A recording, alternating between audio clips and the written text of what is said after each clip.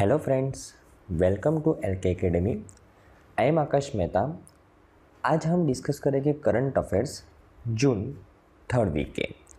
Let's start with the first news हमारी first news है कि अभी रिसेंटली डिफेंस मिनिस्ट्री के द्वारा अमेंडमेंट किया गया है उनके सर्विस रूल्स के अंदर. क्या अमेंडमेंट किया गया है? कि अभी तक जो आर्म फोर्सेस की जो सबसे बड़ी पोस्ट है chief of defence staff CDS उनके लिए कौन एलिजिबल था? तो आर्मी एयरफोर्स और नेवी के जो करंट चीफ होते हैं, उसमें सो, उसमें जो सबसे एक्सपीरियंस पर्सन है, वो चीफ ऑफ़ डिफेंस स्टाफ बन सकते हैं, राइट? लेकिन अभी इस रूल के अंदर, इस सर्विस रूल के अंदर अमेंडमेंट किया गया है डिफेंस मिनिस्ट्री के द्वारा। उन्होंने क्या बोला है कि अभी चीफ ऑफ़ डिफेंस स्टाफ कौन बन सकता है? तो आर्मी, नेवी और एयरफोर्स के जो रिटायर्ड चीफ है, जो रिटायर्ड हो चुके हैं, जो रिटायर्ड चीफ है, उनमें से कोई भी पर्सन वो चीफ ऑफ़ डिफेंस स्टाफ बन सकता है। लेकिन उनकी एज कितनी होनी चाहिए? उनकी एज होनी चाहिए मैक्सिमम सिक्सटी टू मतलब जब तक वो पोस्ट के लिए अप्लाई करे, तब उनकी एज मैक्सिमम कितनी होनी चाहिए? सिक्सटी टू और वो कब तक वो चीफ ऑफ़ डिफेंस स्टाफ के पोस्ट के ऊपर रह सकते हैं जब उनकी एज होगी सिक्सटी फाइव की एज होगी राइट तो जो रिटायर्ड चीफ जो below the age of sixty two age है उनकी आर्मी नेवी और एयरफोर्स के जो रिटायर्ड चीफ हैं, जिनकी एज 62 से कम है, वो चीफ ऑफ़ डिफेंस स्टाफ के लिए अप्लाई कर सकते हैं, वो चीफ ऑफ़ डिफेंस स्टाफ बन सकते हैं और वो कब तक, उनकी मैक्सिमम एज कब तक, वो चीफ ऑफ़ डिफेंस स्टाफ बन के रह सकते हैं। तो 65 एज के तक राइट 65 एज तक राइट तो अभी जो रूल है कि जो करंट चीफ है, उसमें जो सबसे एक्सपीरियंस पर्सन होता है, वही चीफ ऑफ़ डिफेंस स्टाफ बन सकता है। उसमें अभी अमेंडमेंट किया गया है कि जो रिटायर्ड चीफ हो गए आर्मी नेवी और एयरफोर्स के, उसमें से कोई भी चीफ ऑफ़ डिफेंस स्टाफ बन सकता है, लेकिन उनकी एज 62 से कम होनी चाहिए। और वो कब तक मैक्सिमम कितनी एज तक वो चीफ ऑफ़ डिफेंस स्टाफ बन सकते हैं? सिक्सटी एज राइट ओके तो मतलब तीन सन का टेन्योर होगा ओके अभी ये चीफ ऑफ़ डिफेंस स्टाफ जो आर्म फोर्सेस के अंदर सबसे पहले चीफ ऑफ़ डिफेंस स्टाफ कौन थे?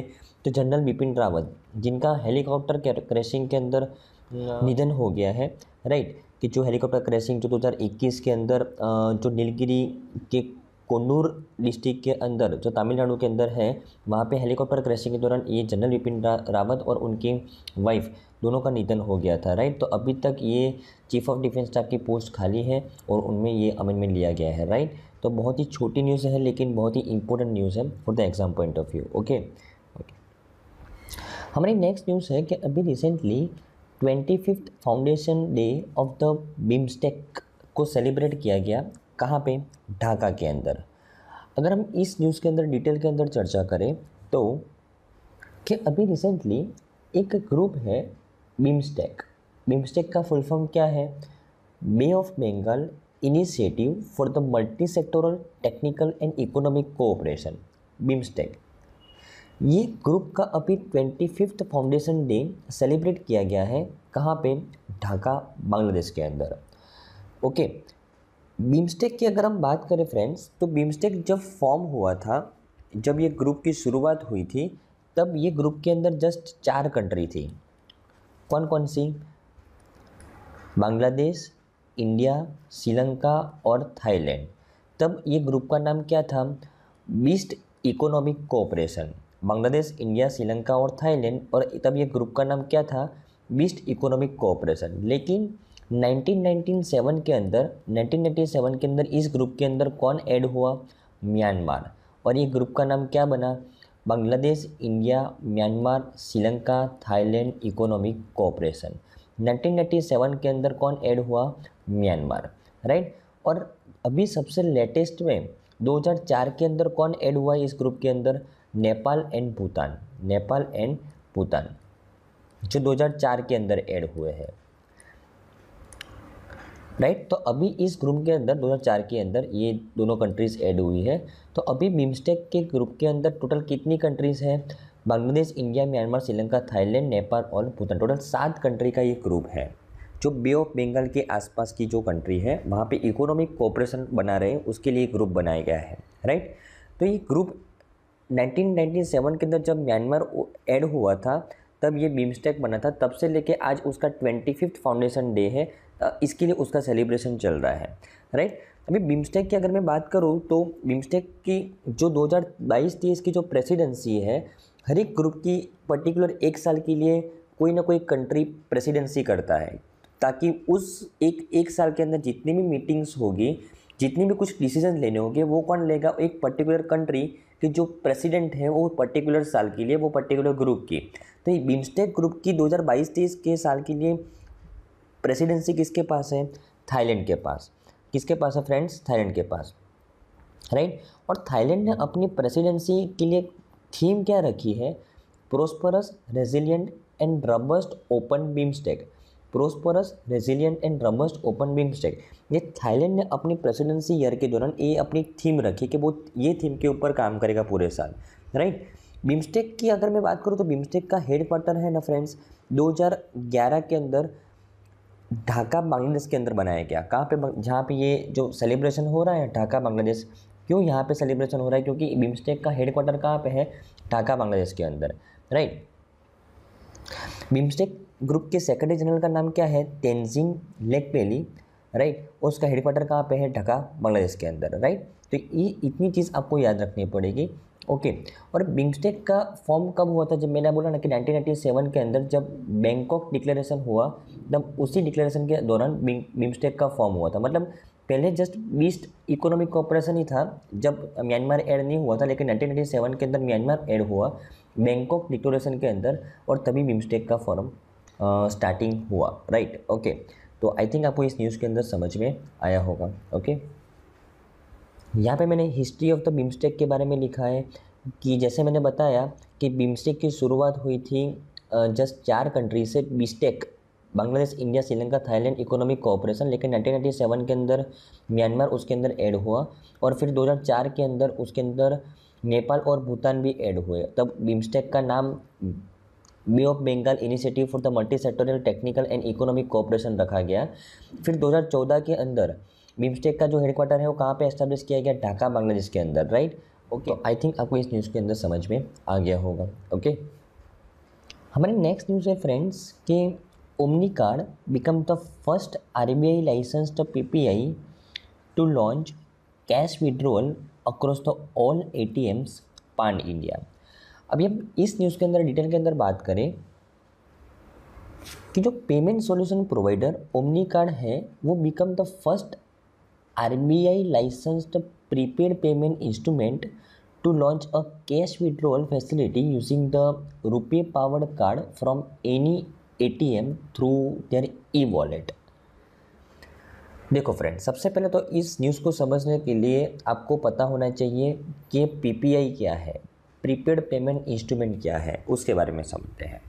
तो friends, prepaid payment instrument basically चार टाइप के होते हैं। Open PPI semi open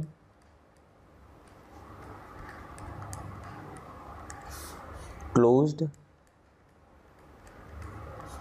और सेमी क्लोज्ड ये चार टाइप के टाइप के प्रीपेड पेमेंट इंस्ट्रूमेंट बेसिकली होते हैं। ओपन सेमी ओपन क्लोज्ड और सेमी क्लोज राइट अभी मैं सबसे पहले तो प्रीपेड पेमेंट इंस्ट्रूमेंट क्या होते हैं? तो आ, आप अपने मोबाइल के अंदर जब रिचार्ज कंप्लीट हो जाता है जब जब ख़त्म हो जाता है तब उसके अंदर रिचार्ज करवाते हो तब आ, आप किसी के साथ बात कर सकते हो राइट मतलब आप क्या करते हो कि आपकी मोबाइल के अंदर पहले से रिचार्ज करवाते हो मतलब प्रीपेड करते हो राइट तब उसके बाद आप किसी के साथ बात कर सकते हो राइट तो उसी तरह कि जो भी एप्लीकेशन जो भी कंपनी वॉलेट सर्विस प्रोवाइड करती है राइट मतलब वो प्रीपेड पेमेंट इंस्ट्रूमेंट प्रोवाइड करती है। वॉलेट एक क्या चीज़ है कि आप उस वॉलेट के अंदर पहले से पैसा डाल रहे हो और फिर उसी वॉलेट में से आप पैसे को उसी पैसे से आप कुछ परचेस करते हो राइट कई जगह पे स्वाइप करते हो, कुछ जगह पे परचेस करते हो, कोई जगह पे आप एटीएम से पैसा निकालते हो, लेकिन वो वॉलेट के अंदर पैसा होना चाहिए, तब भी आप कोई ना कोई चीज़ कर सकते हो। तो मतलब ये वॉलेट के अंदर पहले से पैसे डाल, जो भी इंस्ट्रूमेंट के थ्रू आप पहले से पैसे डाल सकते हो, उस इंस्ट्रूमेंट को क्या बोलते हैं? प्रीपेड पेमेंट इंस्ट्रूमेंट राइट तो टोटल चार टाइप के प्रीपेड पेमेंट इंस्ट्रूमेंट होते हैं। तो सबसे पहला है ओपन। ओपन पीपीआई किसको बोलते हैं? ओपन प्रीपेड पेमेंट इंस्ट्रूमेंट किसको बोलते हैं? तो उसका बेस्ट एग्ज़ाम्पल है ओपन पीपीआई का क्रेडिट कार्ड और डेबिट कार्ड।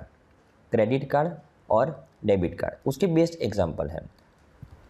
क्योंकि फ्रेंड्स, क्रेडिट कार्ड और डेबिट कार्ड में भी पैसा है, राइट? उसके अंदर पैसा होता है, पैसा स्टोर है। लेकिन उस क्रेडिट कार्ड और डेबिट कार्ड के अंदर जितने भी पैसे हैं ना, वो आप कोई भी एटीएम पे जाके वो विड्रॉ करवा सकते हो। तो जो पी के अंदर वॉलेट के अंदर जो पैसा है, वो वो अगर आप कोई भी एटीएम के थ्रू आप विड्रॉ करवा सकते हो तो उस पीपीआई को क्या बोलते हैं? Open PPI right semi open PPI किसको बोलते हैं? कि जो पीपीआई के अंदर, जो वॉलेट के अंदर जो पैसा है वो आप एटीएम से विड्रॉ नहीं करवा सकते, लेकिन आप point of sale device POS device नाम सुना होगा कि जो पेट्रोल पंप के ऊपर जो आप स्वाइप करवाते हो ना, वो जो डिवाइस के ऊपर, उसको बोलते हैं पीओएस डिवाइस तो जो भी कार्ड के अंदर जो पैसा है, उस कार्ड का पैसा का यूज़ करके आप पीओएस डिवाइस के ऊपर वो स्वाइप करवा सकते हो तो वो कार्ड वो कार्ड जो प्रीपेड पेमेंट इंस्ट्रूमेंट है, उस पीपीआई को क्या, कौन सा पीपीआई बोलते हैं? सेमी ओपन के, कि जो भी पीपीआई को आप पीओएस डिवाइस के ऊपर स्वाइप करवा सकते हो। और उस पी पी आई को आप कौन सा पी पी आई बोलोगे? Semi open P P I right कोई भी, जो कोई भी, अभी देखो, ऐसा नहीं होता कि डेबिट कार्ड और क्रेडिट कार्ड या पी ओ एस के ऊपर स्वाइप करवा सकते हो कि ये ये जो ओमनी कार्ड है ना, जो ये न्यूज़ के अंदर है, ये ओमनी कार्ड वो क्या है? एक पेमेंट सॉल्यूशन प्रोवाइडर है।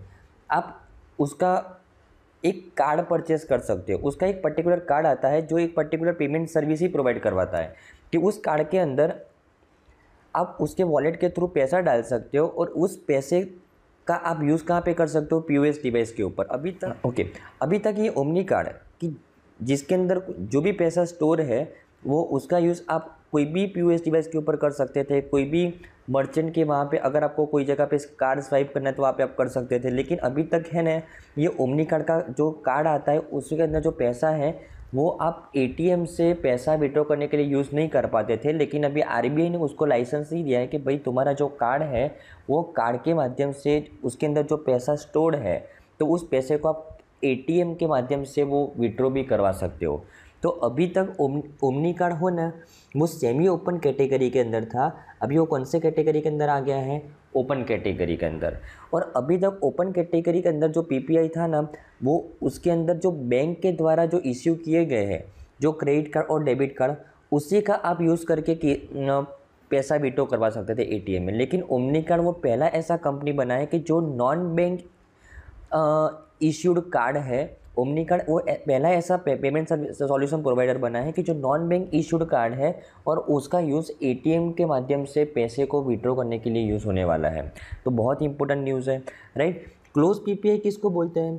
क्लोज पीपीआई उसका बेस्ट एग्ज़ाम्पल है कि एक गिफ्ट कार्ड गिफ्ट कार्ड जो फॉर एग्जांपल आप रिलायंस ट्रेंड के अंदर जाते हो शॉपिंग करते हो वो लोग आपको एक कार्ड प्रोवाइड करते हैं और कार्ड के अंदर कुछ मनी स्टोर करने को बोलते हैं कि भाई आप इस कार्ड के अंदर पाँच सौ रुपया, हज़ार रुपया स्टोर करके रखो। ये कार्ड का यूज़ करके आप हमारे मॉल में से कोई ना कोई शॉपिंग कर सकते हो, लेकिन वो कार्ड दूसरी जगह पे आप शॉपिंग करने के लिए काम में नहीं आएगा। तो ऐसा पीपीआई कि जो पर्टिकुलर खुद के प्लेटफॉर्म के ऊपर ही यूज़ हो सके तो ऐसे पीपीआई को कौन सा पीपीआई बोलते हैं? क्लोज पीपीआई सेमी क्लोज क्या होता है? उसका बेस्ट एग्जांपल है फ़ोनपे, पेटीएम। ये जो फ़ोनपे और पेटीएम के वॉलेट के अंदर जो पैसा होता है, आप दूसरी जगह पर ट्रांसफ़र भी कर सकते हो राइट लेकिन वहाँ से आप पैसा विड्रॉ नहीं कर सकते ओके तो ऐसे पी पी आई ये जो आपके अमेजन वॉलेट के अंदर फ़ोन फ़ोनपे के अंदर, पेटीएम के अंदर जो पैसा होता है, आप दूसरी जगह पर ट्रांसफ़र कर सकते हो राइट तो ऐसे पी पी को क्या बोलते हैं? सेमी क्लोज जिसको आप विड्रॉ नहीं कर सकते, लेकिन ट्रांसफ़र कर सकते हो राइट ओके तो आपको समझ में आया? तो ओमनी कार्ड अभी तक सेमी ओपन कैटेगरी का था और वो अभी कौन से कैटेगरी के अंदर आ गया है? ओपन पीपीआई के अंदर। ओके और ये पहला non bank issued open PPI है कि जो आरबीआई के द्वारा उसको लाइसेंस दिया गया है कि भाई अभी आपके कार्ड से एटीएम से पैसा भी विड्रॉ होगा। ओके ओके आई थिंक आपको इस न्यूज़ के अंदर समझ में आया होगा। ओके हमारी नेक्स्ट न्यूज़ है फ्रेंड्स कि अभी रिसेंटली एक पोर्टल लॉन्च किया गया है, राष्ट्रीय पुरस्कार पोर्टल, और उसका थीम रखा गया राष्ट्रीय पुरस्कार, राष्ट्र का गौरव। राष्ट्रीय पुरस्कार, राष्ट्र का गौरव, ये उसका थीम रखा गया है। एक पोर्टल के बारे में बात करें कि गवर्नमेंट ने अभी एक लॉन्च किया है एक राष्ट्रीय पुरस्कार पोर्टल। इस पोर्टल क्यों लॉन्च किया है गवर्नमेंट ने इस पोर्टल को?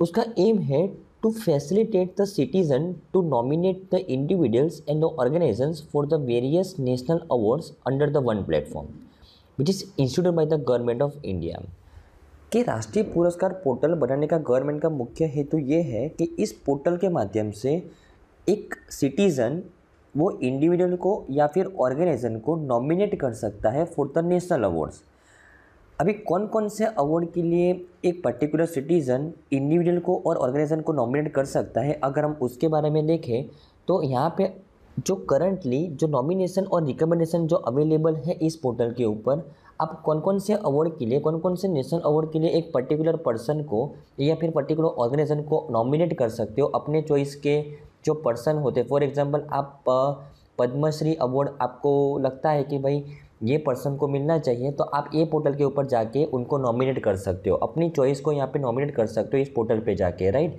तो फॉर एग्ज़ाम्पल यहाँ पे कितने अवार्ड्स के लिए आप नॉमिनेट कर सकते हो पर्टिकुलर पर्सन को और ऑर्गेनाइजेशन को? यहाँ पे मैंने लिस्ट आउट किया है कि अगर आपको पद्म अवार्ड्स पद्म अवार्ड्स के अंदर पद्मश्री पद्म भूषण पद्म विभूषण सभी आ गए तो उसमें अगर आपको कोई लगता है कि ये पर्सन को या ये ऑर्गेनाइजेशन को पद्मश्री अवार्ड मिलना चाहिए पद्म भूषण मिलना चाहिए पद्म विभूषण मिलना चाहिए तो आप ये पोर्टल के जा, के जाके उनको नॉमिनेट कर सकते हो राइट तो नॉमिनेशन कब तक ओपन है? उनके लिए पंद्रह सितंबर 2022 तक।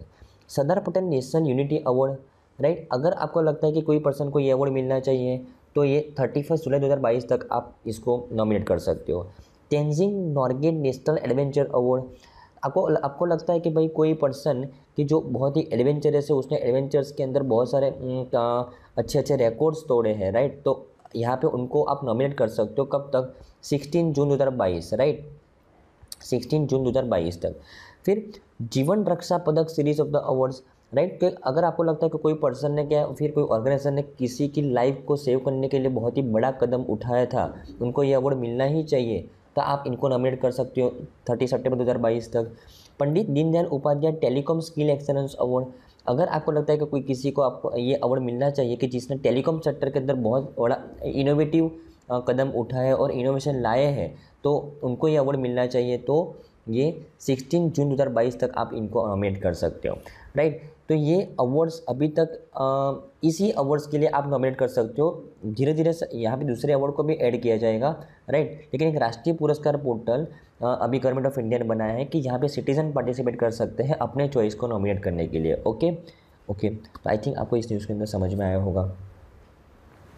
हमारी नेक्स्ट न्यूज़ है फ्रेंड्स कि अभी रिसेंटली जो हमारे इंडियन मिनिस्टर है डॉक्टर जितेंद्र सिंह उन्होंने रिलीज़ किया है सेकेंड एडिशन ऑफ़ नेस्डा 2021 अभी इस न्यूज़ के अंदर क्या है? अगर हम उसके अंदर बारे में बात बात करें तो अभी recently second edition of national e governance service delivery assessment 2021 अभी लॉन्च किया गया।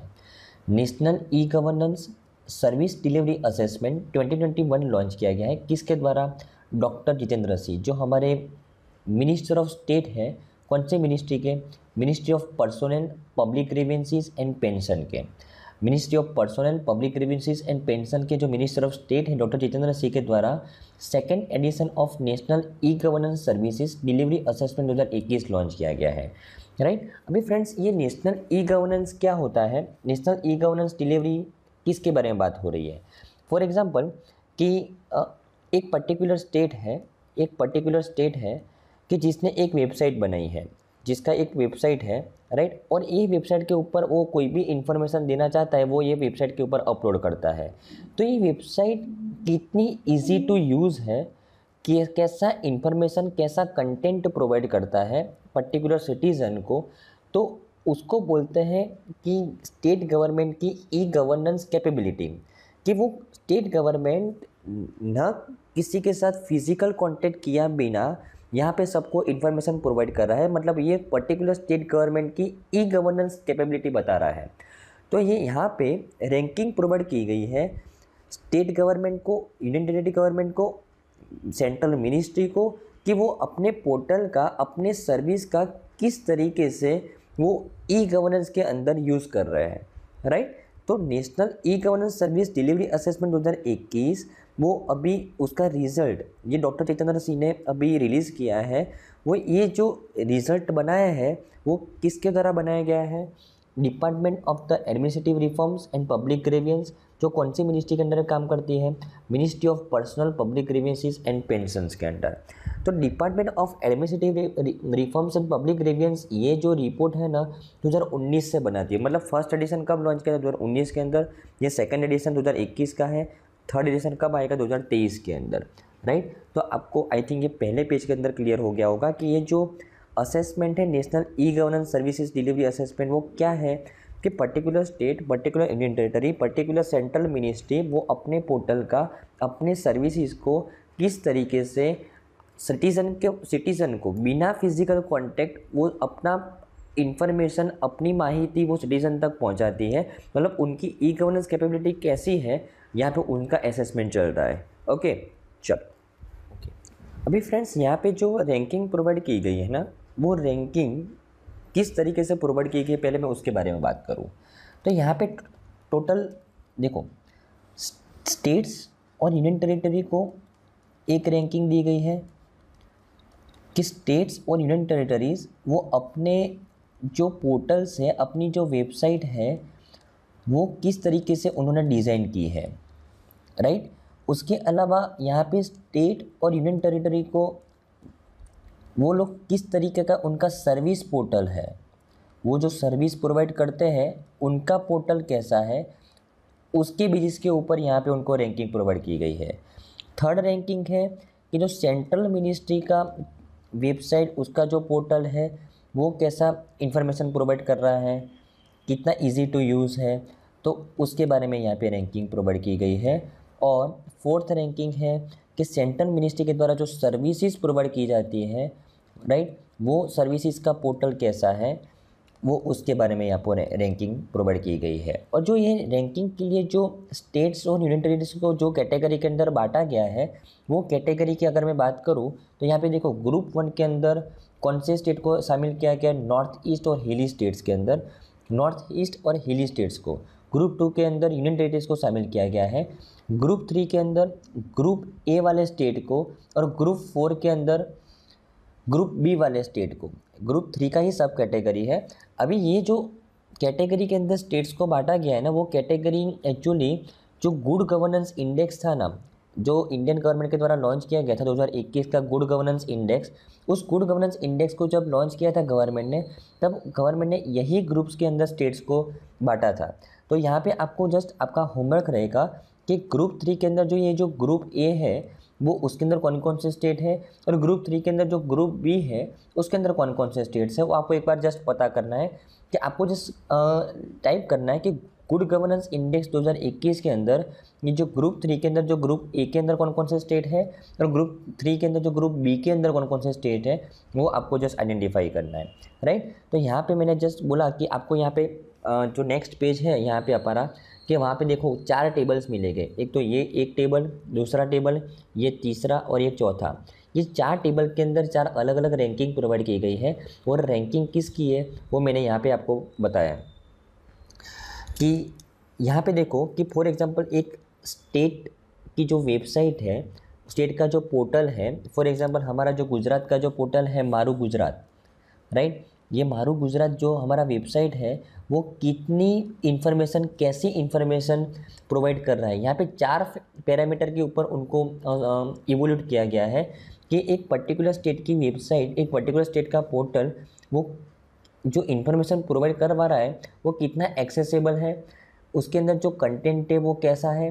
कितना वो पर्टिकुलर वेबसाइट और पर्टिकुलर पोर्टल वो ईज़ ऑफ़ यूज़ है? कितना ईजी है उसको यूज़ करना? उसके अंदर जो इन्फॉर्मेशन प्रोवाइड की जा रही है, वो कितना इन्फॉर्मेशन सिक्योरिटी को फॉलो कर रहा है प्राइवेसी उसके अंदर मेंटेन हो रही है, पर जो उसको ऑपरेट कर रहा है उसको राइट तो ये जो चार मेन पैरामीटर्स है, उसको ध्यान में रख के यहाँ पे पर्टिकुलर स्टेट और यूनियन टेरिटरीज के जो वेबसाइट है, उनका जो पोर्टल है, उनको रैंकिंग दिया गया है। तो ये चार पैरामीटर्स के अकॉर्डिंग सबसे टॉप पे, सबसे टॉप में ये ग्रुप वन कैटेगरी, जो नॉर्थ ईस्टर्न स्टेट और हिली स्टेट के अंदर सबसे अच्छी वेबसाइट किसकी है? नागालैंड की। यूनियन टेरिटरीज कैटेगरी के अंदर सबसे अच्छी वेबसाइट किसकी है? जम्मू एंड कश्मीर की। ग्रुप ए के अंदर सबसे अच्छी वेबसाइट किसकी है? केरला की। और ग्रुप बी के अंदर सबसे अच्छी वेबसाइट किसकी है? ओडिशा की। या, राइट? तो फ़र्स्ट टेबल समझ में आया। यहाँ पे स्टेट और यूनिटरीज का जो पोर्टल है, उनको रैंक प्रोवाइड किया गया है। राइट? और यहाँ पे देखो कि जो स्टेट और यूनिटरीज के जो सर्विस पोर्टल है, उनको रैंक प्रोवाइड किया गया। कि फॉर एग्जांपल कि बेटी बचाओ, बेटी पढ़ाओ एक इनिशिएटिव है राजस्थान गवर्नमेंट का। बेटी बचाओ, बेटी पढ़ाओ। एक इनिशिएटिव है राजस्थान गवर्नमेंट का राजस्थान गवर्नमेंट ने ये बेटी बचाओ बेटी पढ़ाओ का एक पोर्टल के ऊपर वो कितने लोग इसके अंदर एनरोल हो चुके हैं, उनको ये क्या क्या फैसिलिटी मिलती है, वो रियल टाइम इन्फॉर्मेशन यहाँ पे प्रोवाइड होती है राइट तो ये राजस्थान गवर्नमेंट की पर्टिकुलर सर्विस है कि बेटी बचाओ बेटी पढ़ाओ स्कीम उसकी सर्विस है और उसका उसने पोर्टल बनाया है। तो वो सर्विस का पोर्टल कौन से स्टेट का, कौन से यूनिटेड का सबसे अच्छा है तो उनको यहाँ पर रैंकिंग दिया गया है। तो सबसे नॉर्थ ईस्टर्न स्टेट और हिली स्टेट के अंदर सबसे अच्छी सर्विस का पोर्टल कौन से स्टेट का है? मेघालय का। मेघालय की जो सर्विसेज़ है, उसके जो पोर्टल्स हैं, वो बाकी नॉर्थ ईस्टर्न स्टेट से बेहतर है। यूनियन टेरिस की यूनियन के अंदर कौन से यूनियन का सबसे अच्छा सर्विस पोर्टल है? जम्मू एंड कश्मीर का। ग्रुप ए के अंदर पंजाब का सबसे अच्छा सर्विस पोर्टल है और ग्रुप बी के अंदर राजस्थान का सबसे अच्छा सर्विस पोर्टल है। राजस्थान का सबसे अच्छा सर्विस पोर्टल होने का मेन वजह है, ये उसकी जो सर्विस है, बेटी बचाओ, बेटी पढ़ाओ, वही है राइट उसका जो पोर्टल है, वो पूरी इंडिया के अंदर सबसे अच्छा सर्विस पोर्टल है राजस्थान का राइट ओके फिर यहाँ पे सेंट्रल मिनिस्ट्री को रैंकिंग दी गई है। सेंट्रल मिनिस्ट्री की वेबसाइट, उसका पोर्टल वो कितनी इन्फॉर्मेशन कैसी इन्फॉर्मेशन प्रोवाइड करवा रहा है, कितनी इजी टू यूज़ है उसका पोर्टल उसके बारे में बात करें। सबसे अच्छा सबसे इजी टू यूज़ सबसे अच्छा कंटेंट कौन सी मिनिस्ट्री प्रोवाइड करती है? होम अफेयर्स उसके बाद रूरल डेवलपमेंट की मिनिस्ट्री और उसके बाद एजुकेशन मिनिस्ट्री राइट और यहाँ पे वो मिनिस्ट्री के जो सर्विसेज़ के पोर्टल है उसके बारे में बात की गई है। तो यहाँ पे जो फाइनेंस मिनिस्ट्री का जो एक सर्विस है सर्विस पोर्टल है central public procurement portal central public procurement portal कौन से मिनिस्ट्री का है? फाइनेंस मिनिस्ट्री का। तो ये पोर्टल को यहाँ पे फ़र्स्ट नंबर दिया गया है। यहाँ पे कितना ट्रेड होता है इंडिया के अंदर? हर रोज़ कितना होता है? डेली बेसिस के ऊपर एक सेकेंड में ये पाँच मिनट के बाद, दस मिनट के बाद कितना ट्रेड हुआ, कौन सा ट्रेड हुआ? रियल टाइम इन्फॉर्मेशन यहाँ पे प्रोवाइड होती है। कहाँ कहाँ से सबसे ज़्यादा ट्रेडिंग होता है? कहाँ पे सबसे ज़्यादा हम एक्सपोर्ट करवाते हैं? राइट वो सभी चीज़ एक ही पोर्टल पे यहाँ पे फाइनेंस मिनिस्ट्री का एक पोर्टल है central public procurement portal right तो ये पोर्टल के ऊपर आपको ये सभी चीज़ मिल जाएगी राइट तो ये जो फाइनेंस मीडिया का सर्विस पोर्टल है उसको यहाँ पे फ़र्स्ट नंबर दिया गया है इस असेसमेंट के अंदर। तो ये असेसमेंट कौन करता है कौन सी मिनिस्ट्री के अंदर है कौन कौन सी कैटेगरी के अंदर यहाँ पे स्टेट्स यूनिट को डिवाइड किया गया है कौन से इंडेक्स के अकॉर्डिंग तो गुड गवर्नेंस इंडेक्स के अकॉर्डिंग यहाँ पे डिवाइड किया गया है और किसका फ़र्स्ट नंबर आया है वो आपको ध्यान में रखना है। ओके हमारी नेक्स्ट न्यूज़ है फ्रेंड्स कि अभी रिसेंटली कि fourth Khelo India youth games 2021 अभी आ, खेला गया था उसका रिज़ल्ट आ गया है। राइट? तो ये जो fourth Khelo India youth game, वो होस्ट किसने किया था? हरियाणा ने। और उसको टॉप भी किसने किया? हरियाणा ने। राइट? खेलो इंडिया यूथ गेम्स की अगर मैं बात करूँ तो ये दो हज़ार सत्रह के अंदर गवर्नमेंट के द्वारा अनाउंस किया गया था कि वो खेलो इंडिया यूथ गेम और खेलो इंडिया यूनिवर्सिटी गेम्स खेले गए राइट? ये तो 2018 के अंदर इसका फ़र्स्ट एडिशन हुआ था और फ़र्स्ट एडिशन भी हरियाणा ने जीता था राइट और ये फोर्थ एडिशन भी अभी हरियाणा ने जीता। मतलब हरियाणा टोटल दूसरी बार ये खेलो इंडिया यूथ गेम जीता है राइट और हरियाणा के टोटल कितने 52 गोल्ड मेडल जीते हैं, उसके बाद सेकंड नंबर पे महाराष्ट्र, जिसने 45 गोल्ड मेडल जीते हैं, और कर्नाटका ने कितने गोल्ड मेडल जीते हैं? 22 और थर्ड नंबर पे है राइट हमने कुछ दिनों पहले खेलो इंडिया यूनिवर्सिटी गेम्स के रिज़ल्ट के बारे में बात की थी आपको जस्ट वो उसको रिवाइज करना है कि खेलो इंडिया यूनिवर्सिटी गेम्स कहाँ पे हुई थी और वो कौन जीता था राइट ओके और खेलो इंडिया यूथ गेम जो फोर्थ एडिशन है, उसको स्पॉन्सर किसने किया था? उसको स्पॉन्सर करने वाले था एसबीआई और पंजाब नेशनल बैंक। ये दोनों बैंक्स ने उसको स्पॉन्सर किया था राइट ओके ये fourth edition of Khelo India youth game की अगर मैं बात करूँ तो टोटल उसके अंदर आठ हज़ार पाँच सौ प्लेयर ने पार्टिसिपेट किया था और टोटल कितने स्पोर्ट्स खेले गए थे? ट्वेंटी फाइव स्पोर्ट्स और इस बार पाँच नए स्पोर्ट्स को ऐड किया गया था और पाँच नए स्पोर्ट्स कौन कौन से थे? तो मल्लाखम, गटका कलारियापट्टू थंगता एंड योगासना। ये पाँच नए स्पोर्ट्स को यहाँ पे शामिल किया गया था। टोटल ट्वेंटी फाइव स्पोर्ट्स खेले गए थे। टोटल आठ हज़ार पाँच सौ प्लेयर्स ने पार्टिसिपेट किया था। राइट ओके और यहाँ पे जो टॉप फाइव कम जो स्टेट्स अगर मैं उसकी बात करूँ तो सबसे ज़्यादा मेडल हरियाणा ने। मेडल तो नहीं, सबसे ज़्यादा गोल्ड मेडल किसने जीते हैं? हरियाणा ने। Maharashtra forty five second number पे Karnataka twenty two third number पे फोर्थ नंबर पे मणिपुर नाइनटीन और फिफ्थ नंबर पे केरला अठारह मेडल अठारह गोल्ड मेडल के साथ टॉप फाइव के अंदर है। और सबसे लास्ट किसका आया है? मेघालय जिसने एक भी गोल्ड मेडल नहीं जीता है। ओके तो आई थिंक आपको ये इस पूरी न्यूज़ के अंदर समझ में आया होगा। खेलो इंडिया यूथ गेम और खेलो इंडिया यूनिवर्सिटी गेम्स दो नेशनल लेवल की गेम है। बहुत ही इंपॉर्टेंट है। एग्ज़ाम पॉइंट ऑफ़ व्यू से बहुत सारे क्वेश्चन आते हैं उसके अंदर से राइट ओके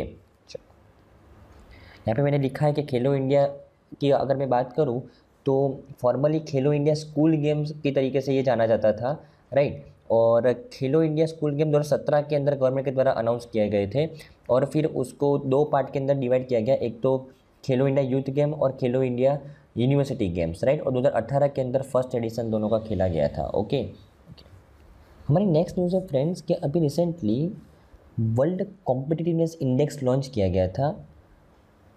तो अगर हम इस इंडेक्स की अगर हम बात करें तो कि अभी recently international institute for the management development IMD के द्वारा वर्ल्ड कॉम्पिटिटिवनेस इंडेक्स लॉन्च किया गया था और ये थर्टी फोर्थ एडिशन था राइट तो उस कॉम्पिटिटिवनेस इंडेक्स के अंदर इंडिया का रैंक कौन सा आया है? इस बार थर्टी सेवन आया है। लास्ट टाइम कितना आया था? फोर्टी थर्ड राइट तो इंडिया ने छः स्थानों का इम्प्रूवमेंट किया है। तो सबसे पहले तो ये कॉम्पिटिटिवनेस इंडेक्स के अंदर ये जो इंडेक्स जब ये संस्था आईएमडी लॉन्च करती है, तब कौन कौन से फैक्टर को कंसिडर करती है? कि पर्टिकुलर कंट्री का इकोनॉमिक परफॉर्मेंस कैसा है? पर्टिकुलर कंट्री का गवर्नमेंट एफिशिएंसी कैसी है? पर्टिकुलर कंट्री की बिज़नेस एफिशिएंसी कैसी है? और पर्टिकुलर कंट्री का इंफ्रास्ट्रक्चर कैसा है? तो ये चार फैक्टर को ध्यान में रख के यहाँ पे टोटल 63 इकोनॉमीज़ का सर्वे किया गया है आईएमडी के द्वारा। और उसमें इंडिया का रैंक इस बार कौन सा है? 37 जो लास्ट टाइम कितना था? फोर्टी अभी इस इंडेक्स को टॉप किसने किया है? तो डेनमार्क ने। डेनमार्क ने उसको टॉप किया है। सेकंड नंबर पे कौन आया है? स्विट्ज़रलैंड और थर्ड नंबर पे कौन आया है? सिंगापुर। राइट अगर मैं चार अलग अलग कंट्री के, अगर मैं चार जो अलग अलग जो फैक्टर है, उसके अंदर जो इंडिया का परफॉर्मेंस कैसा है, अगर मैं उसकी बात करूँ तो तो इकोनॉमिक परफॉर्मेंस के अंदर इंडिया का रैंक थर्टी सेवन था लास्ट टाइम अभी इस बार कितना हुआ है? ट्वेंटी एट गवर्नमेंट एफिशिएंसी के अंदर इंडिया का लास्ट टाइम रैंक था फोर्टी सिक्स इस बार कितना हुआ है? फोर्टी फाइव बिज़नेस एफिशिएंसी के अंदर इंडिया का लास्ट टाइम रैंक था थर्टी टू अभी कितना हुआ ट्वेंटी थ्री और इंफ्रास्ट्रक्चर के अंदर इंडिया का लास्ट टाइम भी फोर्टी नाइन रैंक था, इस बार भी फोर्टी नाइन रैंक हुआ है राइट ओके और इंडिया का जो एशिया पैसिफिक ग्रुप के अंदर टोटल कौन सा नंबर है? इलेवंथ नंबर है। India is has rank eleventh on the peer group ranking Asia Pacific 2022 जो एशिया पैसिफिक ग्रुप है, उस एशिया पैसिफिक की जो कंट्री है, उसमें इंडिया का इलेवंथ रैंक है और ओवरऑल थर्टी रैंक है राइट ओके, कौन से संस्था के द्वारा वर्ल्ड कॉम्पिटिटिव इंडेक्स लॉन्च किया गया है? आईएमडी के द्वारा। कौन कौन से फैक्टर कंसिडर किए गए हैं? और फैक्टर के अंदर पर्टिकुलर इंडिया का परफॉर्मेंस कैसा है? लास्ट ईयर और इस साल वो आपको ध्यान में रखना है। ओके। हमारी नेक्स्ट न्यूज़ है फ्रेंड्स कि अभी रिसेंटली एक नया ग्रुप बनाया गया है I two U two I two U two यहाँ पर एक नया ग्रुप बनाया गया है। तो इस ग्रुप की अगर हम बात करें तो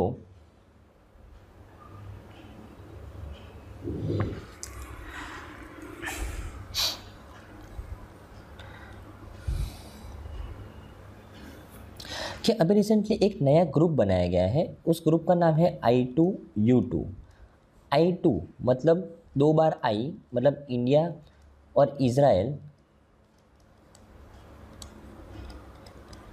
और दो बार यू मतलब यूएस और यूएई यहाँ पे आई टू यू टू और इन आई टू यू टू को एक दूसरा नाम भी दिया गया है west Asian quad west Asian quad इसको दूसरा नाम भी दिया गया है। तो अभी रिसेंटली इंडिया इसराइल यूएस और यूए के द्वारा एक ग्रुप बनाया गया है फॉर द इकोनॉमिक कोऑपरेशन के लिए। आई टू यू टू और उसका दूसरा नाम है वेस्ट एशियन कॉड क्योंकि चारों कंट्री वेस्ट एशिया से बिलोंग करती है और ये चार कंट्री इसके लिए कॉड और आपको इसके माध्यम से एक और रिवीजन करना है कि भाई एक और ग्रुप का नाम भी है, जिसका नाम है कॉड कॉड ग्रुप के अंदर कौन कौन मेंबर होते हैं? तो इंडिया यूएस जापान और ऑस्ट्रेलिया इंडिया, यूएस, जापान और ऑस्ट्रेलिया, एक क्वाड ग्रुप के मेंबर हैं। तो आपको जस्ट एक क्वेश्चन आ सकता है कि कौन से ऐसी दो कंट्री है कि जो क्वाड की मेंबर भी है और वेस्ट एशियन क्वाड की मेंबर भी है। तो इंडिया और यूएस, ये दो कंट्री के जो क्वाड की मेंबर भी है और जो वेस्ट एशियन क्वाड है, उसके भी मेंबर्स हैं। राइट ओके तो ये जो, ये वेस्ट स्टेशन कोड जो आई टी यू जो ग्रुप बना है, उसकी पहली मीटिंग कौन होस्ट करने वाला है? मतलब 2022 देश के लिए इस ग्रुप की प्रेसिडेंसी कौन करने वाला है? यूएस करने वाला है। राइट? कौन करने वाला है फ्रेंड्स? यूएस। तो पहली मीटिंग है, वो यूएस होस्ट करने वाला है। 2022 देश का आई टी यू का प्रेसिडेंसी किसके पास है? यूएस के पास है। ओके? तो एक चीज़, एक नॉर्मल न्यूज़ कि अभी नया ग्रुप फॉर्म किया गया आई टी यू उसके अंदर मेंबर कौन कौन है राइट और ये ग्रुप कौन से एग्रीमेंट के अंडर में बनाया गया है? तो ये ग्रुप है ना अब्राहम अकॉर्ड एग्रीमेंट के अंडर में बनाया गया है। कौन सा एग्रीमेंट है friends Abraham accord Abraham accord actually ये वही एग्रीमेंट है कि जहाँ पे यूएस ने 2021 के अंदर इसराइल और यूए के बीच में संधि करवाई थी। पहले इसराइल और यूए एक दूसरे के अंदर ट्रेड नहीं करते थे, लेकिन यूएस ने उन दोनों के बीच में संधि करवाई थी और फ्री ट्रेड एग्रीमेंट साइन करवाया था। तो यही जो एग्रीमेंट यूएस ने इसराइल और यूए के बीच में करवाया था, उस एग्री एग्रीमेंट को बोलते हैं Abraham accord. Abraham accord right और उसी एग्रीमेंट के अंडर में ये ग्रुप बनाया गया है, अब्राहम अकॉर्ड राइट ये रहा, अब्राहम अकॉर्ड ओके तो आपको जस्ट इस एग्ज़ाम पॉइंट ऑफ़ व्यू से कि आई टी ग्रुप के अंदर मेंबर कौन है, उसकी फ़र्स्ट टाइम प्रेसिडेंसी कौन संभाल रहा है ओके उसका दूसरा नाम क्या है, कॉड के मेंबर कौन है, और ये कौन से एग्रीमेंट कौन से अकॉर्ड के अंडर में बनाया गया है, वो भी आपको ध्यान में रखना होगा। और यहाँ पे आप स्टेटिव फैक्ट्स भी यहाँ पे देख सकते हो कि प्राइम मिनिस्टर नरेंद्र मोदी, जो इंडिया के प्राइम मिनिस्टर नरेंद्र मोदी इस मीटिंग के अंदर शामिल थे, जब ये ग्रुप बनाया गया राइट इसराइल के जो प्राइम मिनिस्टर कौन है? नफ्ताली बेन्नेट, वो भी शामिल थे। यूए के जो प्रेसिडेंट है, मोहम्मद बिन जायद अल नहयान, वो भी शामिल थे, और यूएस के प्रेसिडेंट जो बिडन राइट तो चारों ने मिलकर यहाँ पे डिसाइड किया कि वो एक ग्रुप बनाएँगे। ओके ओके ओके हमारी नेक्स्ट न्यूज़ है कि अनएम्प्लॉयमेंट रेट वो dips to 8.2 percent in January to March 2022 और ये डेटा किससे निकला है? नेशनल स्टेटिस्टिकल ऑफ़िस एनएसओ के द्वारा राइट तो इस न्यूज़ के अंदर अगर हम डिटेल के अंदर बात करें तो कि अभी रिसेंटली एक periodic labour force survey launch किया गया? Periodic labour force survey launch किया है कौन सी संस्था के द्वारा? नेशनल स्टेटिस्टिकल ऑफ़िस के द्वारा। और ये कौन से क्वार्टर का है? जनवरी से मार्च 2022 के क्वार्टर का है। तो ये पीरियोडिक लेबर फोर्स सर्वे वो क्वार्टरली बेसिस के ऊपर नेशनल स्टेटिस्टिकल ऑफ़िस वो क्वार्टरली बेस के ऊपर ये लॉन्च करती है और ये जनवरी से मार्च 2022 के क्वार्टर का ये डेटा है पीरियडिक लेबर फोर्स सर्वे तो पीरियडिक लेबर फोर्स सर्वे के अंदर फ्रेंड्स ये जो एनएसओ है, वो सबसे पहले तो ये एनएसओ कौन सी मिनिस्ट्री के अंडर में काम करती है? तो एनएसओ है वो ministry of statistics and programme implementation MoSPI के अंडर में काम करती है। तो ये एनएसओ ये जो पीरियडिक लेबर फोर्स सर्वे है, उसके अंदर तीन डेटा लॉन्च करती है क्वार्टरली बेस के ऊपर। एक तो है अनएम्प्लॉयमेंट रेट और एक है वर्कर पॉपुलेशन रेशियो और एक है labour force participation rate labour force participation rate सबसे पहले तो मैं बात करूँ कि लेबर फोर्स क्या होता है, क्योंकि लेबर फोर्स सर्वे किया जाता है तो लेबर फोर्स क्या होता है? तो लेबर फोर्स किसको बोलते हैं फ्रेंड्स तो लेबर फोर्स के अंदर जो एम्प्लॉयड पीपल है वो तो आते ही है, लेकिन जो अनएम्प्लॉयड है, अभी अनएम्प्लॉयड तो छोटा बच्चा भी होता है, लेकिन जो एलिजिबल है जो ग्रेजुएट है, जो एलिजिबल है, जिसने जॉब के लिए अप्लाई किया है, लेकिन उसको जॉब नहीं मिल रही है तो उन लोगों को अनएम्प्लॉयड बोलते हैं राइट तो जो एम्प्लॉयड पीपल तो है लेबर फोर्स के अंदर, लेकिन जो अनएम्प्लॉयड है, जिसने अप्लाई किया है, लेकिन उसको जॉब नहीं मिली है, वो भी लेबर फोर्स में काउंट किया जाएगा। तो यहाँ पे सबसे पहले जो डेटा है कि जो अनएम्प्लॉयमेंट रेट वो अनएम्प्लॉयमेंट रेट क्या होता है? कि फॉर एग्जांपल लेबर फोर्स के अंदर टोटल पचास करोड़ ले पर्सन है। लेबर फोर्स के अंदर टोटल कितने लोग हैं? पचास करोड़। जहाँ पे एम्प्लॉयड लोग भी आए गए और अनएम्प्लॉयड लोग भी आए गए और उसमें से अनएम्प्लॉयड कितने फॉर एग्जांपल उसमें से दस करोड़ अनएम्प्लॉयड है। तो यहाँ पे जो टेन अपन फिफ्टी ये जो रेट मिला ना आपको तो ये क्या हुआ? अनएम्प्लॉयमेंट रेट राइट राइट तो यहाँ पे अनएम्प्लॉयमेंट रेट जो जनवरी से 2000 जनवरी और मार्च, जनवरी से लेकर मार्च 2022 का जो ये क्वार्टर है उसके अंदर अनइम्प्लॉयमेंट रेट कितना रहा है? 8.2 परसेंट जो यही अनइम्प्लॉयमेंट रेट जनवरी से मार्च 2021 के क्वार्टर के अंदर कितना था? 9.3 परसेंट मतलब अनइम्प्लॉयमेंट रेट कम हुआ है लास्ट क्वार्टर लास्ट ईयर के सेम क्वार्टर के अकॉर्डिंग मतलब अनइम्प्लॉयमेंट रेट कम हुआ है मतलब इंडिया ने ज़्यादा इम्प्लीमेंट प्रोवाइड की गई है राइट और अगर हम अक्टूबर से दिसंबर 2021 की कंपैरिजन करें तो अक्टूबर से दिसंबर 2021 के अंदर अनइम्प्लीमेंट रेट कितना था? 8.7 परसेंट तो इस जनवरी से मार्च 2022 के जो क्वार्टर के अंदर अनइम्प्लीमेंट रेट कम हुआ है, जो अच्छी बात है। पता चला कि क्या होता है अनइम्प्लीमेंट रेट ओके ओके अगर मैं, यहाँ पे मैंने ओवरऑल अनएम्प्लॉयमेंट रेट की बात की अगर मैं बात करूँ कि पर्टिकुलर फीमेल के अंदर अनएम्प्लॉयमेंट रेट कितनी रही है फीमेल पॉपुलेशन के अंदर 10.1 परसेंट जनवरी से लेकर मार्च 2022 के क्वार्टर के अंदर मेल कैटेगरी के अंदर अनएम्प्लॉयमेंट रेट कितनी हुई है तो कि seven point seven percent seven point seven percent जनवरी से लेकर मार्च 2022 के क्वार्टर के अंदर राइट ओके दूसरा डेटा है कि labour force participation rate labour force participation rate मतलब क्या हुआ? कि total population for example total population 130 crore की है टोटल पॉपुलेशन कितना करोड़ की हमारे इंडिया की 130 करोड़ की है। उसमें से लेबर फोर्स के अंदर कितने लोग हैं? तो लेबर फोर्स के अंदर फॉर एग्जांपल 50 करोड़ है 130 करोड़ में से। तो ये जो रेट है, वो क्या हुआ? लेबर फोर्स पार्टिसिपेशन रेट तो लेबर फोर्स पार्टिसिपेशन रेट वो जानवर से लेकर मार्च दो हज़ार बाईस के क्वार्टर के अंदर कितना था? 47.3 परसेंट जो सेम क्वार्टर 2021 के अंदर कितना था? 47.5 परसेंट जनवरी से मार्च 2021 के क्वार्टर के अंदर। और अक्टूबर से दिसंबर 2021 के क्वार्टर के अंदर ये लेबर फोर्स पार्टिसिपेशन रेट कितना था? 47.3 परसेंट तो आपको तीन तीन क्वार्टर का डेटा याद रखना पड़ेगा और प्रायोरिटी बेस तो जनवरी से मार्च दो हज़ार बाईस का याद रखना पड़ेगा। ओके ओके यहाँ पे तीसरा डेटा है वर्कर पॉपुलेशन रेशियो तो वर्कर पॉपुलेशन रेशियो की क्या होता है कि जैसे अनएम्प्लॉयमेंट रेट के लिए हम रेफरेंस लेते थे लेबर फोर्स का, कि लेबर फोर्स के अंदर पचास करोड़ है, उसमें से दस करोड़ अनएम्प्लॉयड है तो ये रेट हुआ अनएम्प्लॉयमेंट रेट का राइट उसी तरह कि लेबर फोर्स के अंदर पचास करोड़ लोग हैं और उसमें से चालीस करोड़ लोग, वो एम्प्लॉयड है तो वो वर्कर पॉपुलेशन रेशियो रेशियो उसको बोलते हैं कि लेबर फोर्स के अंदर एम्प्लॉयड लोग कितने हैं? Out of the total labour force तो उसको बोलते हैं वर्कर पॉपुलेशन रेशियो और वो कितना है? वो रेट 43.4 परसेंट जनवरी से मार्च 2022 के क्वार्टर के अंदर. जो जनवरी से मार्च 2021 के क्वार्टर की अगर हम बात करें तो 43.1 परसेंट था. और जनवरी, अक्टूबर से दिसंबर 2021 की बात करें तो 43.2 परसेंट था. ये तीनों तीन data periodic labour force survey के अंदर नेशनल स्टेटिस्टिकल ऑफ़िस के द्वारा क्वार्टरली बेसिस के ऊपर लॉन्च किया जाता है. राइट ओके और यहाँ पे जो ये डेटा जो लॉन्च किया गया है ये लेबर फोर्स सर, सर्वे के अंडर जो एनएसओ के द्वारा तो वो डेटा एफ़ को कंसिडर करके यहाँ पे डेटा को लिया गया है। एफ़ का मतलब क्या है?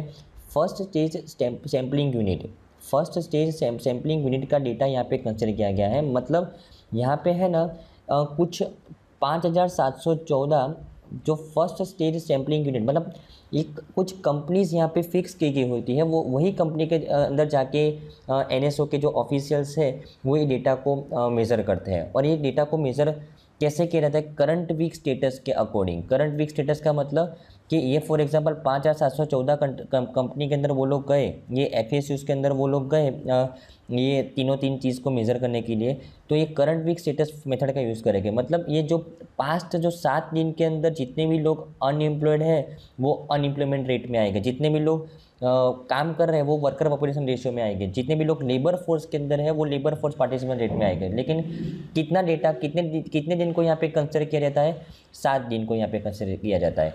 यहाँ पे पूरे साल का डेटा नहीं लिया जाता कि कोई पर्टिकुलर कंपनी में पूरे साल में कितने लोगों ने रिज़ाइन दिया, कितने लोग काम कर रहे हैं, ऐसा नहीं होता। कि पर्टिकुलर सात दिन के अंदर क्या क्या एक्टिविटी हो रही है मतलब करंट वीक स्टेटस का मेथड का यूज़ कर किया, करके यहाँ पे टोटल पाँच हज़ार सात सौ चौदह एफ़ एस यूज़ का सर्वे किया गया है और ये डेटा निकाला गया है एन एस ओ के द्वारा।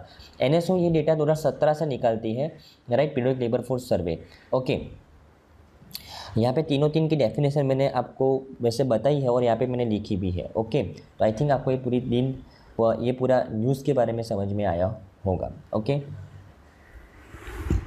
हमारी नेक्स्ट न्यूज़ है फ्रेंड्स कि अभी रिसेंटली दिल्ली का जो इंदिरा गांधी इंटरनेशनल एयरपोर्ट है, वो बना है best airport in the India and South Asia right अभी एक अवार्ड अनाउंस किया गया वर्ल्ड एयरपोर्ट अवार्ड कौन सी कंपनी के द्वारा? स्काईट्रैक्स के द्वारा, जो 2022 का एडिशन था। उस वर्ल्ड एयरपोर्ट अवार्ड के अंदर टॉप किसने किया? हमाद इंटरनेशनल एयरपोर्ट, जो कतार से बिलोंग करता है, उसने टॉप किया मतलब वो वर्ल्ड का सबसे बेस्ट एयरपोर्ट कौन सा है? हमाद इंटरनेशनल एयरपोर्ट जो कतार का है वो। सेकंड नंबर पे कौन है? टोक्यो का हनेडा इंटरनेशनल एयरपोर्ट है, वो सेकंड नंबर पे है, हनेडा इंटरनेशनल एयरपोर्ट। राइट? जो जापान से बिलोंग करता है। और थर्ड नंबर पे सिंगापुर का चांगी एयरपोर्ट है, वो थर्ड नंबर पे है। राइट? और इंडिया का जो एयरपोर्ट है, इंदिरा गांधी इंटरनेशनल एयरपोर्ट जो दिल्ली से बिलोंग करता है, वो थर्टी सेवन नंबर पे है थर्टी सेवन नंबर पे और इंडिया का एकमात्र एयरपोर्ट के जो टॉप फिफ्टी के अंदर में आता है, वो थर्टी सेवन नंबर पे है राइट और वो इंडिया के अंदर और साउथ एशिया के अंदर सबसे बेस्ट एयरपोर्ट है। जैसे वर्ल्ड का बेस्ट एयरपोर्ट है, हमारा इंटरनेशनल एयरपोर्ट और इंडिया और साउथ एशिया का सबसे बेस्ट एयरपोर्ट कौन सा है? तो दिल्ली का इंदिरा गांधी इंटरनेशनल एयरपोर्ट जिसका वर्ल्ड लेवल के ऊपर रैंक कौन सा है? थर्टी सेवन राइट और इंदिरा गांधी इंटरनेशनल एयरपोर्ट वो इंडिया का और साउथ एशिया का सबसे क्लीनेस्ट एयरपोर्ट भी है। इंडिया का और साउथ एशिया का सबसे क्लीनेस्ट एयरपोर्ट भी है राइट टॉप फिफ्टी में तो एक एकमात्र एयरपोर्ट है इंदिरा गांधी इंटरनेशनल एयरपोर्ट जो 37 नंबर पर है। लेकिन अगर हम टॉप 100 की अगर मैं बात करूँ तो इंडिया के चार टोटल एयरपोर्ट है टॉप 100 के अंदर। एक तो दिल्ली का Indira Gandhi international airport 37 number पे, बेंगलुरु का कैंपीगुडा इंटरनेशनल एयरपोर्ट 61 नंबर पे, हैदराबाद का Rajiv Gandhi international airport sixty third number पे, मुंबई का Chhatrapati Shivaji airport sixty five number पे। तो टॉप हंड्रेड के अंदर चार एयरपोर्ट है टॉप फिफ्टी के अंदर एक एयरपोर्ट है। राइट ओके और अब अब अगर मैं स्काई स्काई ये स्काईट्रैक्स का जो एयरपोर्ट अवार्ड की बात करूँ तो नाइनटीन से स्काईट्रैक्स हर साल एयरपोर्ट अवार्ड लॉन्च करता है। राइट और एयरपोर्ट अवार्ड लॉन्च करने वाली एकमात्र संस्था है स्काईट्रैक्स राइट तो ये साल के अंदर एक बार ये अवार्ड लॉन्च करती है, बहुत ही इंपॉर्टेंट न्यूज़ है ओके तो ये आपको, आपके एग्ज़ाम पॉइंट ऑफ़ व्यू से बहुत ही इंपॉर्टेंट है। यहाँ पे अलग अलग कैटेगरी के अंदर कि world's cleanest airport world's best domestic airport world best airport in the Asia best airport and accessible facilities ये अलग अलग कैटेगरी के अंदर किसने टॉप किया, इसका लिस्ट आउट है। ये आपको याद रखने की ज़रूरत नहीं है, लेकिन वर्ल्ड का बेस्ट एयरपोर्ट कौन सा है? एशिया, साउथ एशिया और इंडिया का बेस्ट एयरपोर्ट कौन सा है? टॉप फिफ्टी के अंदर इंडिया का कौन सा है? टॉप हंड्रेड के अंदर इंडिया के कितने और कौन कौन से हैं? वो आपको याद रखना है। ओके तो आई थिंक आपको इस न्यूज़ के अंदर समझ में आया होगा। स्काईटेक्स की अगर मैं बात करूँ तो स्काईटेक्स एक्चुअली स्पेशलिस्ट है research and quality advisers to the air transport industry के अंडर में। उसके सीईओ कौन है? एडवर प्लेस्टेड उसका एस्टेब्लिश 1989 के अंदर में हुआ था राइट और उसका हेडक्वार्टर कहाँ पे? लंदन यूके के अंदर ओके हमारी नेक्स्ट न्यूज़ है कि अभी रिसेंटली जो एजुकेशन मिनिस्ट्री का एक इनिशिएटिव है कि जिसने इंफॉर्मेशन कम्युनिकेशन टेक्नोलॉजी का यूज़ किया था तो उस इनिशिएटिव को यहाँ पे यूनेस्को का अवार्ड मिला है। तो अगर हम इस न्यूज़ के अंदर डिटेल के अंदर चर्चा करें तो कि मिनिस्ट्री ऑफ़ एजुकेशन का एक इनिशिएटिव है कि जिसने इंफॉर्मेशन कम्युनिकेशन टेक्नोलॉजी का यूज़ करके स्कूल एजुकेशन के अंदर कुछ इम्प्रूवमेंट लाया है तो उस इनिशिएटिव को यहाँ पे यूनेस्को का एक अवार्ड मिला है। तो ये इनिशिएटिव कौन सा सबसे पहले तो मैं बात करूँ तो ये इनिशिएटिव है पी एम ई विद्या ये इनिशिएटिव कौन सी संस्था के द्वारा लॉन्च किया गया था? Central institute of the education technology C के द्वारा एक लॉन्च किया गया था। और ये ये जो इंस्टीट्यूट है, वो एन के एक यूनिट है एन का फुल फॉर्म है national council of the education research and training और वो कौन से डिपार्टमेंट में है? Department of school education literacy के अंडर में काम करता है और वो कौन सी मिनिस्ट्री के अंडर में काम करता है? तो मिनिस्ट्री ऑफ़ एजुकेशन के अंडर में। तो ये जो central institute of education technology के द्वारा ये P M E Vidya launch किया गया था 2020 के अंदर तो उसने इंफॉर्मेशन कम्युनिकेशन टेक्नोलॉजी का यूज़ किया था स्कूल एजुकेशन के अंदर तो इसके लिए उसको यूनेस्को अवार्ड मिला है 2021 का। राइट अभी ये पी एम ई विद्या की अगर हम बात करें तो पी एम ई विद्या के अंदर एक्चुअली टोटल बारह P M E Vidya D to H T V channels यहाँ पे बनाए गए थे, कि जहाँ पे कोविड के दौरान जब स्कूल्स बंद थे, तब जो स्कूल स्टूडेंट्स हैं, उनका पढ़ना खराब ना हो, वो घर बैठे बैठे भी पढ़ सके। इसके लिए ये संस्था के द्वारा सी एट संस्था के द्वारा एक इनिशिएटिव लिया गया था कि बारह P M E Vidya D to H channel के ऊपर यहाँ पे जो अलग अलग सब्जेक्ट के कोर्सेज यहाँ पे दिखाए जाते थे टीवी के ऊपर, राइट? उसके अलावा टीवी चैनल के ऊपर ही नहीं, कि 397 रेडियो स्टेशन के ऊपर भी यहाँ पे लेक्चर्स को कंडक्ट किया जाता था, ऑडियो के माध्यम से यहाँ पे स्टूडेंट्स को पढ़ाया जाता था, राइट? तो ये पी एम ई विद्या, जो ये संस्था के द्वारा सी एड संस्था के द्वारा जो लॉन्च किया गया दो हज़ार बीस के अंदर, जहाँ पे इंफॉर्मेशन कम्युनिकेशन टेक्नोलॉजी का यूज़ किया गया है तो इस इनिशिएटिव को यहाँ पे यूनेस्को का ये अवार्ड मिला है।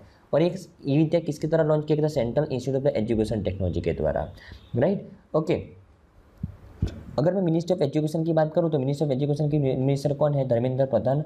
उसके मिनिस्टर ऑफ़ स्टेट कौन है? अन्नपूर्णा देवी, सुभाष सरकार, राजकुमार रंजन सिंह। ओके तो आई थिंक आपको इस न्यूज़ के अंदर में समझ में आया होगा।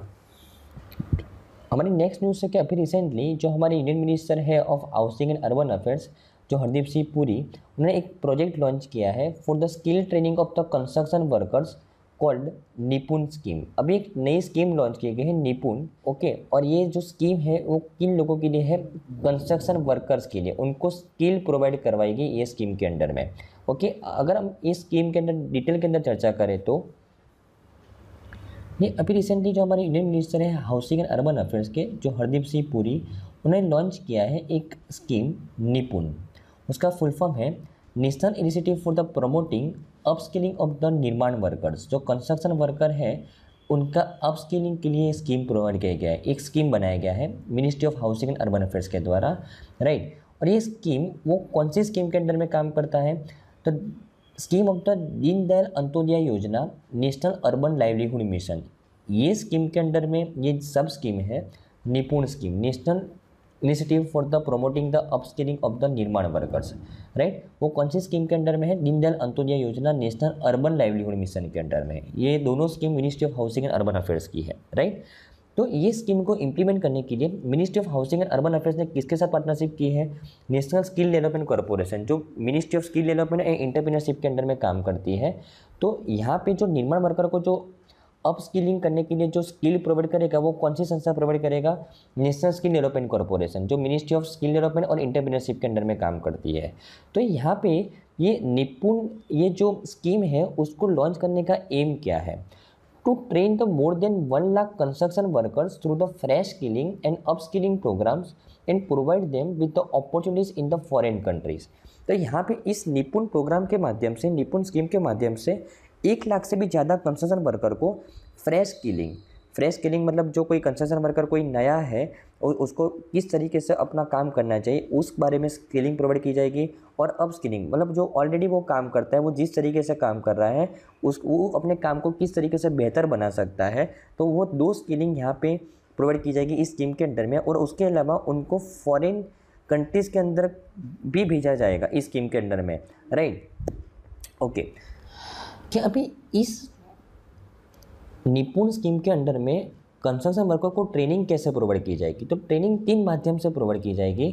पहला माध्यम है training through the recognition of the prior learning at the construction site कि कोई भी कंस्ट्रक्शन साइट है, वहाँ पे कोई भी कंस्ट्रक्शन वर्कर काम करने के लिए आता है तो उसको सबसे पहले तो उसको क्या काम करना है, क्या काम करना है, उसके बारे में पूरी एक इन्फॉर्मेशन वो कैसे करना है थोड़ी सी प्रैक्टिकल अप्रोच उसको कैसे करना है, वो सब यहाँ पे सिखाया जाएगा। तो training through the recognition of the prior learning at the construction site second training through the fresh skilling by plumbing and infrastructure sector skill council यहाँ पे देखो गवर्नमेंट के द्वारा बहुत ही जगह जगह पे सेक्टर स्किल काउंसिल एस्टेब्लिश किए गए एस एस सी राइट तो यहाँ पे जो वर्कर्स होते हैं, उनको पर्टिकुलर ट्रेड के अंदर पर्टिकुलर स्ट्रीम के अंदर यहाँ पे उनको ट्रेनिंग, प्रैक्टिकल ट्रेनिंग प्रोवाइड की जाती है। जैसे आई के अंदर कैसा यहाँ पे आई के अंदर थियोरिटिकल नॉलेज भी प्रोवाइड किया जाता है, लेकिन ये जो सेक्टर स्किल काउंसिल होता है ना, यहाँ पे तो प्रैक्टिकल ट्रेनिंग प्रोवाइड की जाती है राइट तो यहाँ पे प्लम्बिंग और इंफ्रास्ट्रक्चर के अंदर ये फ्रेश स्किलिंग प्रोवाइड की जाएगी सेक्टर स्किल काउंसिल्स के अंदर। तो सेकेंड